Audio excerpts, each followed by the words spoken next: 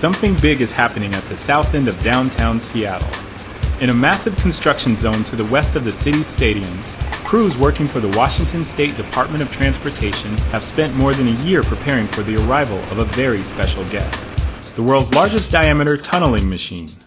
Named Bertha, in honor of former Seattle Mayor Bertha Knight Landis, the machine will dig a tunnel to replace Seattle's Alaskan Way Viaduct a double-deck section of State Route 99 that has stood along the city's downtown waterfront for more than half a century. A team of more than 300 workers has removed almost 86,000 cubic yards of soil to create a launch pit that is 80 feet deep. This is where Bertha will begin her journey beneath downtown this summer. So what's Bertha's story? Where did she come from and how did she get here? Osaka, Japan is home of Hitachi Zosen Corporation, one of the few facilities in the world capable of building a tunneling machine of this size. It took crews here about a year to build Bertha. A product of Northwest Vision and global expertise, the machine stands 5 stories tall and is 326 feet long. After rigorous testing, Bertha was carefully taken apart for shipment to Seattle. Of course, moving a big machine requires a big ship.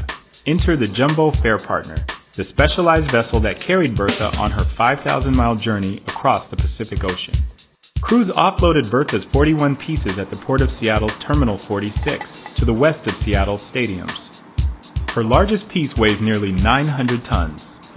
The pieces were moved by truck to a storage location in the nearby work zone. One by one, the pieces will be lowered into Bertha's launch pit for reassembly and testing, a process that takes about two months. Designed specifically for the ground conditions beneath Seattle, Bertha will move slowly at first, digging about 6 feet per day in the early section of the tunnel drive. By the time she gets beneath downtown, she'll dig up to 35 feet per day, removing thousands of cubic yards of rock and soil. An enclosed conveyor belt will carry excavated material out of the tunnel to barges waiting at the water's edge. The barges will take the soil to a disposal facility on the west side of Puget Sound. Every aspect of the tunneling machine and the project was developed with safety in mind. The project's tunneling experts have built similar tunnels all over the world and are using proven methods to ensure the project's success. Most of Bertha's tunneling will take place deep beneath downtown Seattle in terrain that is very dense and stable. Crews will constantly monitor ground conditions as they drive the machine forward. The monitoring process started long before Bertha arrived, when crews began examining and installing monitors on some 160 buildings above the tunnel route. These monitors will help the tunneling team detect even the slightest ground movement. Bertha's journey will end in 2014 in a receiving pit that is currently under construction at the north end of downtown. When the tunnel opens in late 2015, crews will demolish the remaining section of the viaduct, clearing the way for new public space along Seattle's downtown waterfront.